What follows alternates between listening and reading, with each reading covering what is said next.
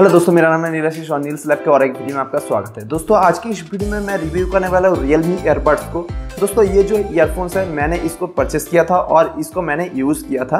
अभी मुझे एक्सपीरियंस हो गया है कि ये ईयरफोन्स का बिल्ड क्वालिटी कैसा है साउंड क्वालिटी कैसा है और normal day to day life usages में ये कैसा परफॉर्म करता है। दोस्तों और नॉर्मली आपको पता है कि जो रियलमी का जो फ़ोन्स होते हैं, वो बहुत ही अच्छी स्पेसिफिकेशन के साथ आती है और बहुत ही अच्छा प्राइस में भी आते हैं।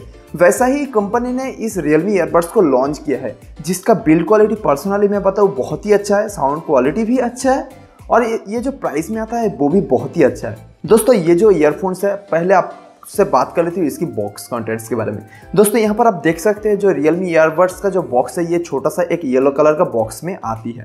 जो दोस्तों, ये जो बॉक्स है, इसके अंदर आपको एक और बॉक्स मिलता है, जहाँ पर आपको अटैच हुआ मिलता है अपना जो ईयरफोन वो, और इसके साथ आपको बॉक्स में मिलता है चार ईयर कप्स और दोस्तों, ये जो ईयर कप्स है, ये बहुत ही कूल कलर में आते हैं। और इसका जो कलर स्कीम है ये पर्सनली दोस्तों, मुझे बहुत पसंद आया, क्योंकि इसका जो येलो कलर है, ये पर्सनली मेरा, मुझे बहुत पसंद आया। और दोस्तों, इसके साथ आपको मिलता है एक यूज़र गाइड जो नॉर्मली लोग यूज़ भी नहीं करते हैं तो इसको साइड में रखते हैं।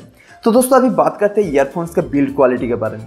दोस्तों, ये जो ईयरफोन्स है, ये बहुत ही अच्छा बिल्ड क्वालिटी के साथ आता है, क्योंकि दोस्तों, यहाँ पर आपको जो वायर है ये एक ब्रेडेड केबल मिलता है, जो आप यहाँ पर देख सकते हैं, जो ब्रेडेड केबल, जो प्रीमियम ईयरफोन्स में आपको मिलता है। पर्सनली मैं एक ए के का ईयरफोन्स यूज़ करता हूँ, जिसमें एक ब्रेडेड केबल है, और ये ब्रेडेड केबल बहुत ही स्ट्रॉन्ग होते हैं नॉर्मल केबल से।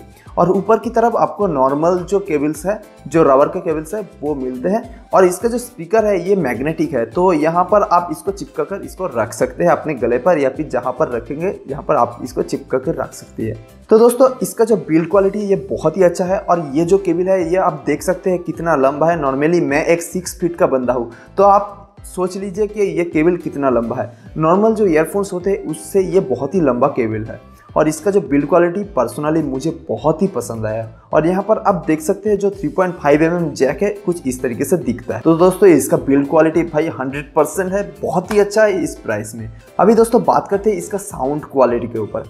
दोस्तों, इसका जो साउंड है, ये बहुत ही अच्छा है। एकदम बैलेंस साउंड के साथ आता है, पर यहाँ पर जो बेस है, वो थोड़ा सा मुझे कम लगा। पर्सनली मैं जो ए का ईयरफोन यूज़ करता हूँ, जो प्रीमियम ईयरफोन है, उसमें भी बेस थोड़ा सा कम है, क्योंकि ये एक बैलेंस बेस है। ये कोई चाइनीज़ या फिर ट्रेडिशनल जो ईयरफोन्स होते हैं, उसकी तरफ़ मतलब बहुत लाउड नहीं है। ये एक बहुत ही बैलेंस साउंड के साथ आती है, पर इसका बेस मुझे थोड़ा सा कम लगा। पर मैं इसको जो फ़ोन का जो इक्वलाइज़र है, उसके साथ इसको फिक्स करके जो साउंड क्वालिटी है, वो मैं इसको बैलेंस बना सकता हूँ। तो आप इसको कर सकते हैं बट नॉर्मली अगर मैं कहूँ तो इसका जो साउंड क्वालिटी वो अच्छा है बेस थोड़ा सा कम है। पर नॉर्मली अगर मैं कहूँ एक फाइव हंड्रेड ईयरफोन के बारे में तो उस मामले में ये जो ईयरफोन्स है, ये परफेक्ट है साउंड में।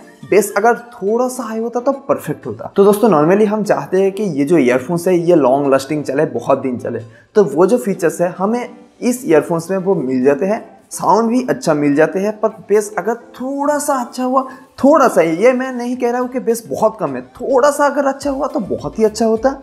पर हाँ ओवरऑल ये ईयरफोन्स परफेक्ट है। आप इसको खरीद सकते हैं। ये भाई नंबर वन है फाइव हंड्रेड रुपीज़ में। दोस्तों, अगर आप इसको खरीदना चाहते हैं तो लिंक डिस्क्रिप्शन पर है, इसको आप चेक कर सकते हैं। तो दोस्तों, आज के लिए बस इतना ही। अगर आपको कोई डाउट है मन में तो आप कमेंट बॉक्स में पूछ सकते हैं, और अगर आपको इस वीडियो पसंद है तो लाइक कर सकते हैं शेयर कर सकते हैं अपने दोस्तों के साथ, और इस चैनल को सब्सक्राइब करना मत भूलिए, क्योंकि मैं ऐसे टेक्नोलॉजिकल वीडियोस लेकर आता रहता हूँ। तो आज के लिए फिर इतना ही, दोस्तों स्टेट एंड पीस आउट